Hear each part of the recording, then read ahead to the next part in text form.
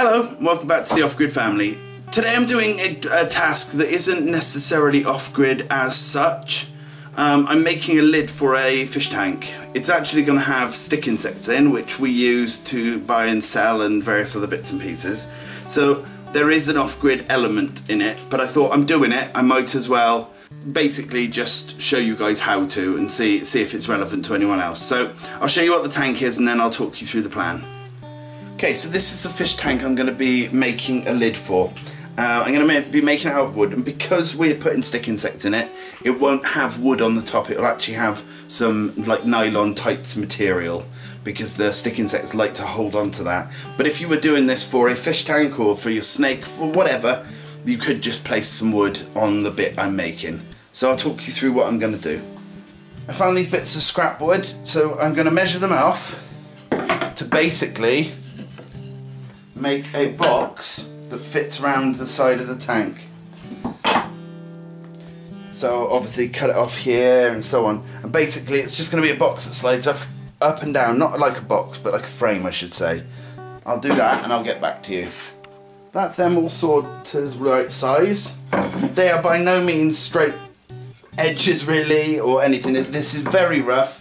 It doesn't have to be exact. I've basically just lined up the piece of wood done a little scratch in them to know where I've got a saw and that. Now I'm going to screw them through here, here and in the other two sides and then I'll get back to you. Okay so I've made this basically square frame. It does fit over but it's a lot tighter than I would have wanted it. I will advise you guys to, if you're doing anything like this, make sure it's a little bit looser than that. You know, give it maybe a centimetre extra and that, that way it'll go on fine. So now the next bit, I'm going to put a batten across here and across here. And there's the actual lid made. Um, I'm going to stretch some nylon material across here and it just means then that stick insects have something to gra grasp onto when they're shedding their skin, otherwise they often come out deformed. So I'm going to possibly put hooks along the side for it to hook onto. I'll think of something anyway. But if you were to be making this, for example, for a snake, then I'd advise putting a whole piece of uh, piece of wood or you could put planks like this all the way across. It's up to you completely. But it's very, very simple. Anyway, I'll stretch the nylon across now and figure out how I'm going to attach it because obviously you don't want the holes because they'll come straight through otherwise. Okay, I'm nearly finished. The next job I'm going to do is screw on these little hooks.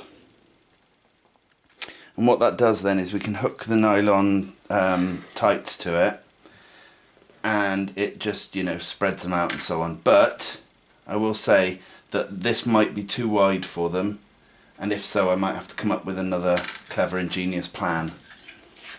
They need to connect these hooks facing downwards like that and what that will allow is then you can stretch the nylons over it all the way across and it should cover the whole thing. If for some reason the nylons won't cover the whole thing, which sometimes they don't, we have to buy extra large ones to get them to stretch, but we could only find a smaller pair. If it doesn't stretch, then I will have to um, do something else. But we'll cross that bridge when we get to it. They're all in now on both sides, so now it's the fun bit of trying to stretch the nylon across it. Okay, I had to get rid of the hooks at the end. It didn't work on this one. I've made it before and the hooks went up here but it was a different shape. So when I'd hooked them over, there was just tiny little holes that um, the new nymphs would be able to get through. So what I've done is I've just put a piece of wood each side and each end. And this thing literally fits like a glove. There's no moving it at all, except up and down obviously. So that's it done. One thing I'll advise, if you do make one like this, it's very, very easy to ladder these. So what you want to do is all of the food, if you use brambles and wild plants, don't let them go up to the ceiling, um, like the roof of it, or you, or you will ladder it easily. If it does ladder, then you just place a piece of wood over the ladder and it works fine then.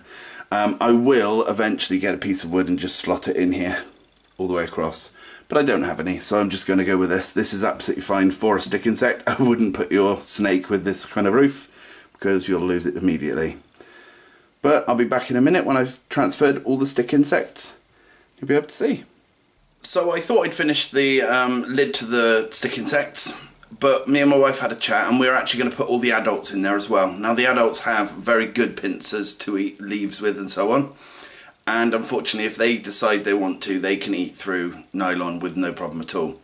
So I'm going to actually put the nylon down and then have a roof completely on the top so they can still stick to the nylon but there'll be a roof over the top so it means I've unfortunately got to unscrew quite a few bits. I'll show you what I need to unscrew and then I'll show you how I'm going to fix it. So basically I'm going to take off this piece and this piece and then I'm going to take off these two pieces as well so it's just a, back to the original frame and what I'm going to do then is I'm going to just lay a, a couple of pieces of wood across the top. Um, I've got some actual old flooring that was given to me by a neighbour I'm going to use that and I'm going to have that across the top. I'm just going to nail this back in some places. I just want as much of it as I can against the edges.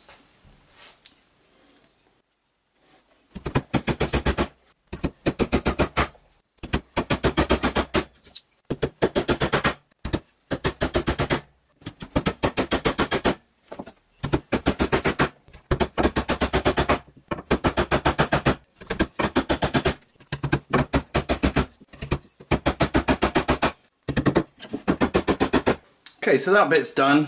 I just try and keep it as much across as I can. There's a little hole here, there's a gap here. Sometimes they will climb un up under it, but I'm going to hopefully get the wood down as tight as I can on it, so there will be nowhere for them to climb under. Next job, I cut these two boards very roughly. It does. I, am not really bothered. Uh, um, it's not to make it look good. It's just to put it here. There'll be other stuff on top of this one so you won't see any of this anyway. But I'm gonna just clip them together and then pin them down. Start at this side.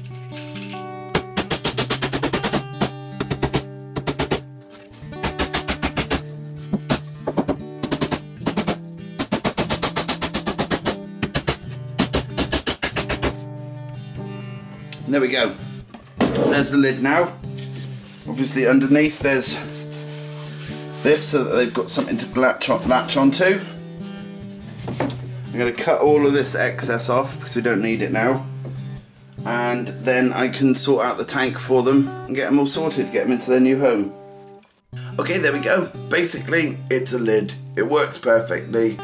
Um, it was a very muddled video because we knew what we wanted um, but the sort of the way we wanted it kept having to change. Um, it would have stayed with just the the like nylon on top if it wasn't for the adult nymphs. As I say, they've got proper like decent pincer kind of things for being able to cut bigger and thicker leaves and they can just literally cut it all open and everything.